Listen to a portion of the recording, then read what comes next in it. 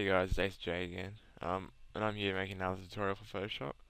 This one is an extension to my last tutorial that was on how to make your own uh, Windows 7 background or wallpaper. If you haven't checked it out already, I suggest you do so. Um, I'll post a link in the description so you can uh, watch the video.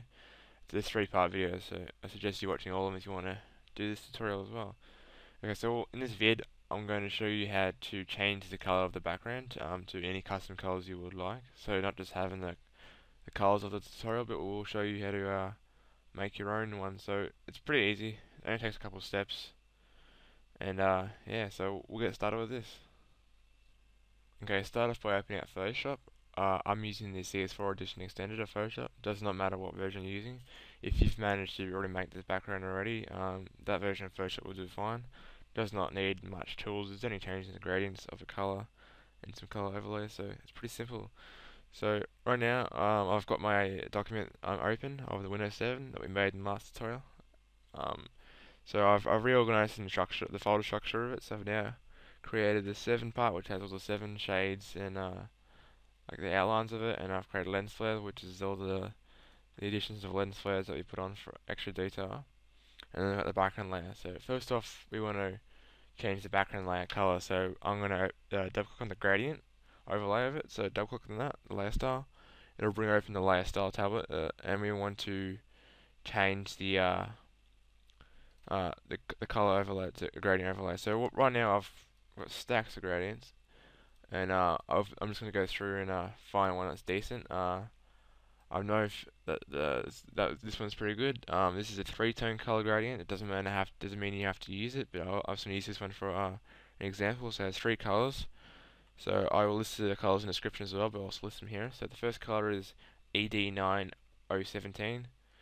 Um, second color is F8D04A. And third is F6E6B5. And again, I'll list them in the description. Um, plus, I'll add some other ones as well that also will work. Um, so just as an example. So I'll list some other ones that you might find that also work quite well with this uh, this setup that I've done so far. Okay, so once we've, we've found a gradient we like, we can go apply it. As you can see, it looks good already, and it's pretty much nearly done, besides the lens flares down below. So we're just going to go OK to this thing, this layer of styles as well. So right now, we need to change the uh, the lens flares down here because they're green. Um, so we're going to go into the lens flare uh, group if you I've made one. So we're just going to go, you know, we're to go find the lens flares. So I've I've located the lens flares and I know which ones to get. Um, so we're going to double click, double click on the layer styles again like we did with the background. So for the inner glow, double click on that. And it's going to bring up the layer styles again. So let's see if I can get the same shot. Um, so right now it's set to green. So right now we want to change the uh, the color to a, a, lighter version of the background, so like like we did last time with it.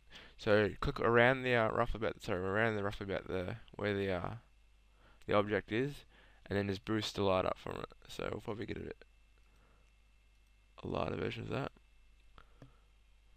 Okay, looks good there. So as you can see, it, it's starting to shape out already.